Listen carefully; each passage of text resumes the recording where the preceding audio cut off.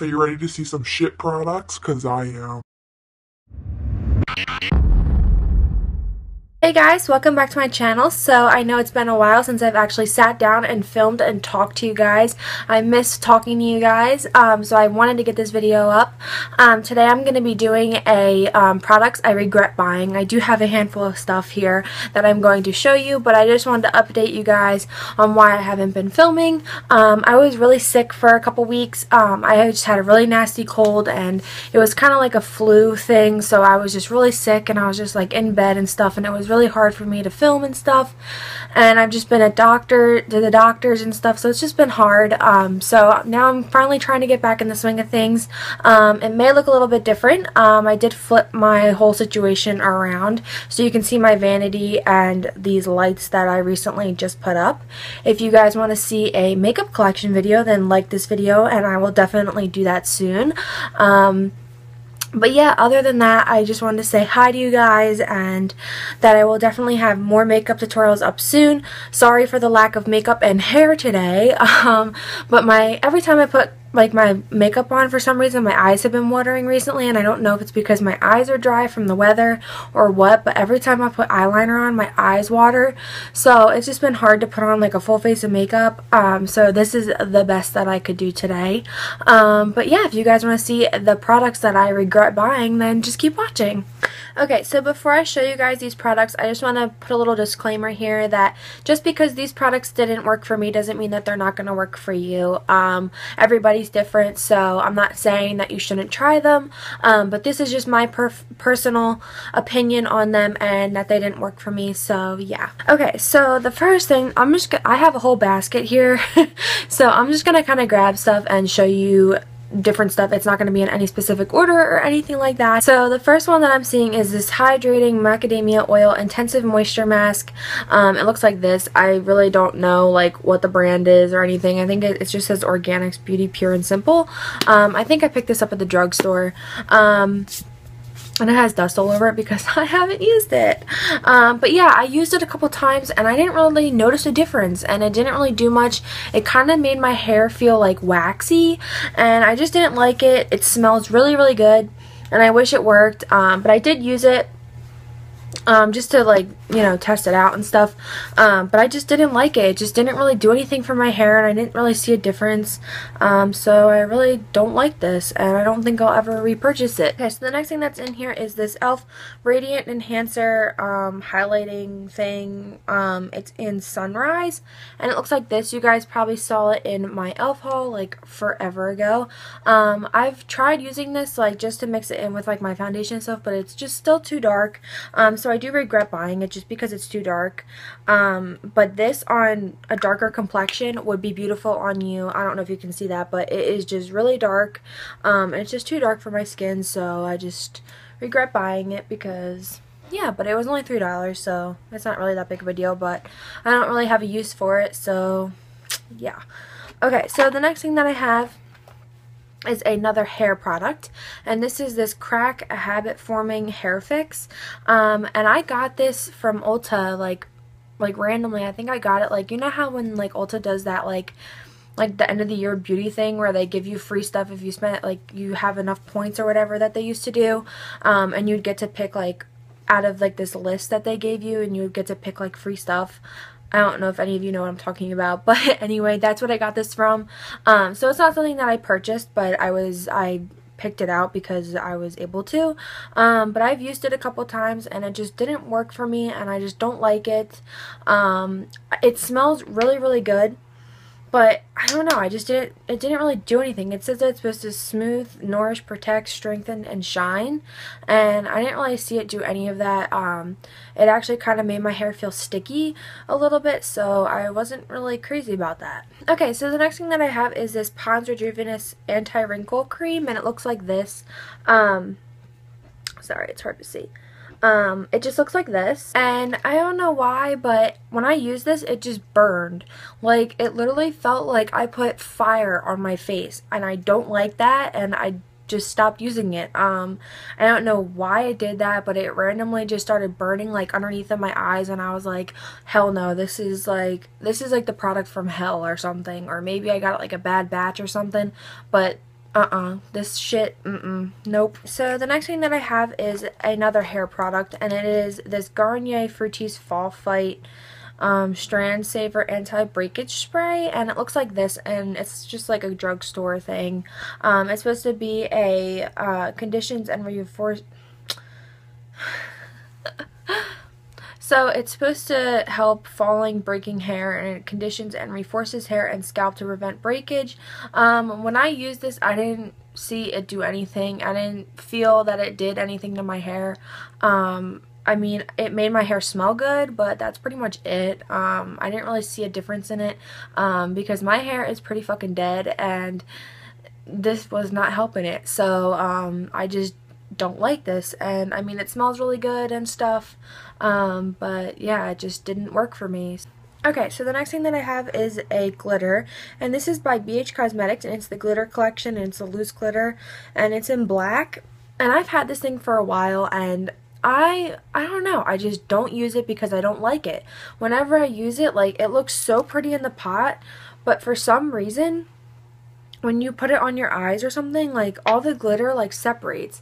Like I don't know if you can see that, but it just looks like dirt. if it's just the color that it's in or what, but I just don't like this. It looks very splotchy and it just doesn't apply properly and I've tried everything to get this thing to work and I just don't like it and I don't know, I regret buying it just because it's it's hard to use and it's so pretty in the pot and then when you try and put it on your eyes it's just like a big hot mess. So yeah, no.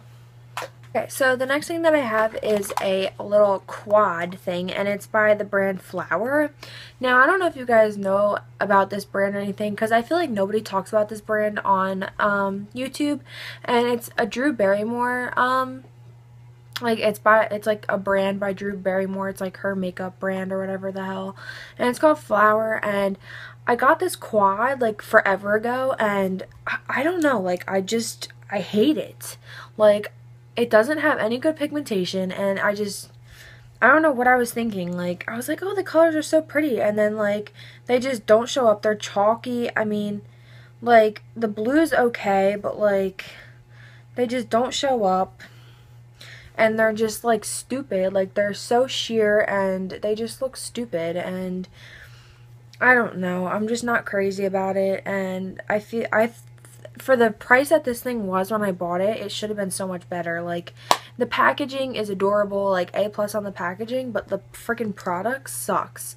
Like, I don't know why, but the pigmentation is just not there, and I don't know. I just, like I got it forever ago and I just haven't used it because I just don't like it because when I put it on my eyes it just doesn't blend and it just like looks splotchy and I just I can't stand that and I don't know. But the packaging's really cute and this is like the only thing that I've ever tried by her her line or whatever. So I mean, if you guys know any good like uh, good products by this line, let me know because I see it in my I see it in Walmart all the time, and I I look at this stuff and the packaging is gorgeous, but I'm just like nervous because like the products don't seem to be that great. Um, and I never see anyone talk about them, so I don't know, I'm just curious, but yeah, this was just a no-go for me, and I just don't like the colors in it, and the pigmentation's really not that great, and they don't blend that well, so yeah. Okay, so the next thing that I have is another hair product. Okay, so this is crazy because I was on YouTube and I this was after I bleached my hair like a while ago. And I was, I was looking for like good products to try out to try and like restore my hair and stuff. And so I trusted this YouTuber and I went out and bought this big ass thing um, and I hate it. It made my hair feel like wax. Like I literally just hated it like I don't know what was wrong but like as soon as like it dried or whatever like it was all fine. And then for some reason like my ends were like poof, and they poofed up or something. It was weird. I didn't like the texture. It left my hair. Like it smells so good but I just don't like it. And it's if you guys are wondering it's the Ion Repair Solutions Intensive Therapy Protein Built Rebuilder for weak damaged hair. It's a reconstructor and I just, I don't know. I just, it did not work well for my hair for some reason. And I'm kind of disappointed because I love a lot of Ion products and this just was not happening for me. And I'm kind of disappointed in it and I don't know what, like, what the hell happened. Like, but like, it just, it was weird. Like, even when I was applying it to my hair, it felt like my hair wasn't even soaking it up. Like, does that sound weird? But like, it just was not was just not working and uh, yeah so yeah. Okay, so the next thing that I have, you guys are probably going to be in shock, but this is the Biore Free Your Pores um, Ultra Ultra Deep Cleansing Pore Strips. Um, I didn't like these because for some reason, I don't know what's going on, but like I've had an issue like for the past like few months where my nose like like my foundation will separate on my nose and like I'll get like little black spots or whatever and I'm like okay like that must mean that my pores are clogged and like I can see my pores and stuff and I'm like oh let me try these. And so I tried them a couple times and it they didn't do anything. It, did, it like it literally just felt like I was ripping my skin off. So I just did not like these. They didn't work.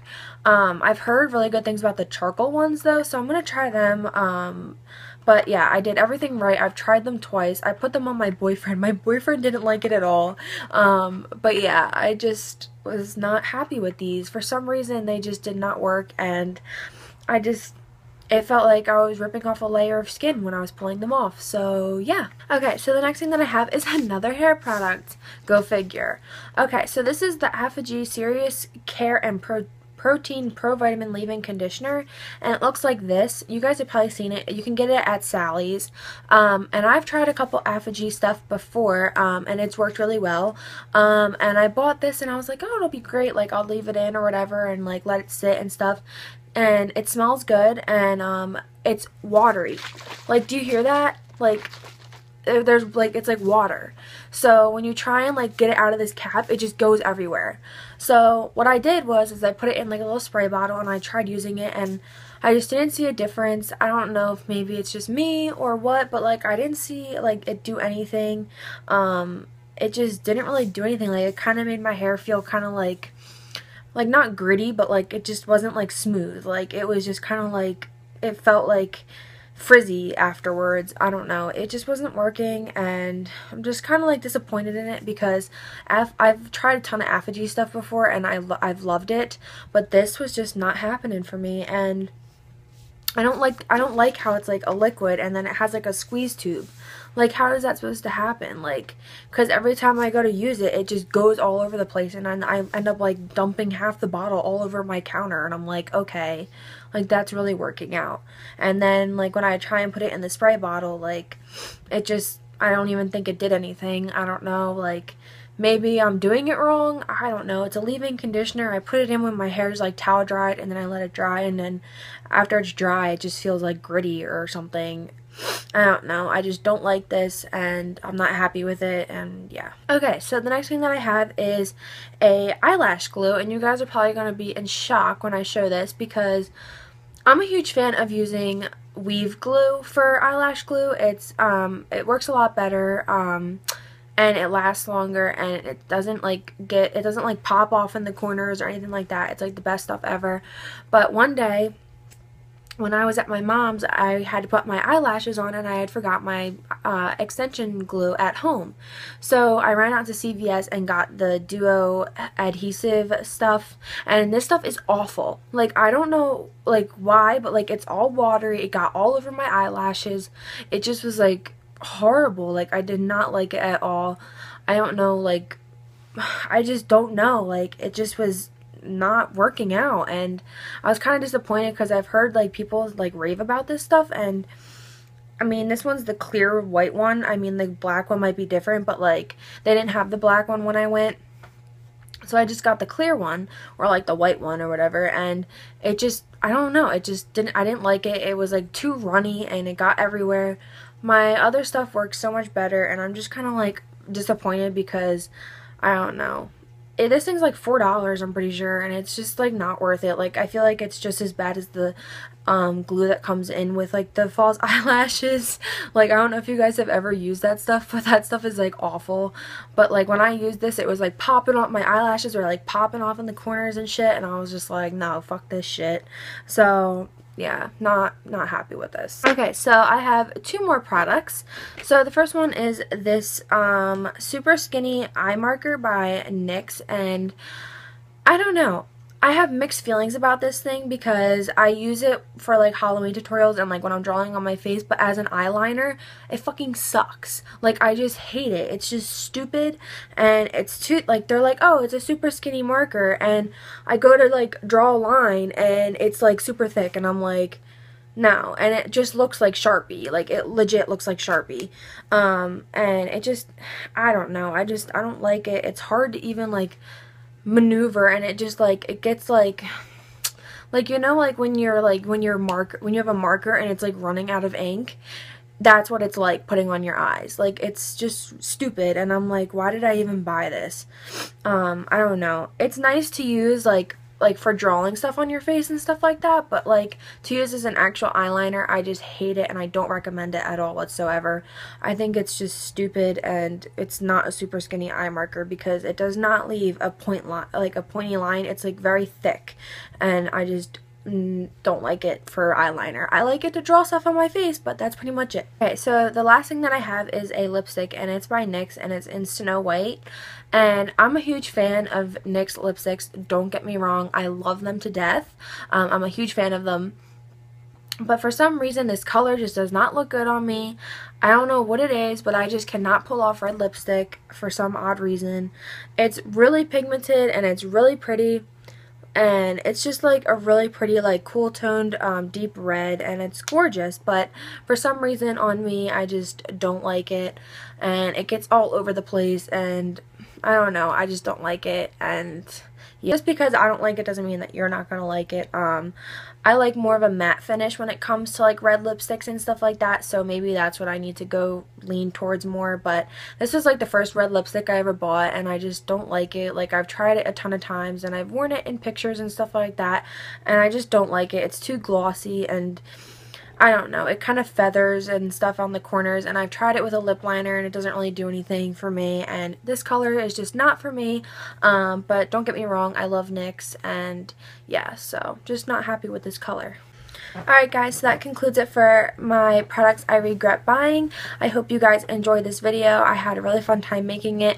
I know I probably sounded a little like pissed off and irritated while I was making this. Um, but yeah, I just don't like these products. They didn't work out for me, but that doesn't mean that they're not going to work out for you. Um, you're never going to know if you like a product unless you try it. Um, so yeah, until my next video, I will talk to you guys later. Bye!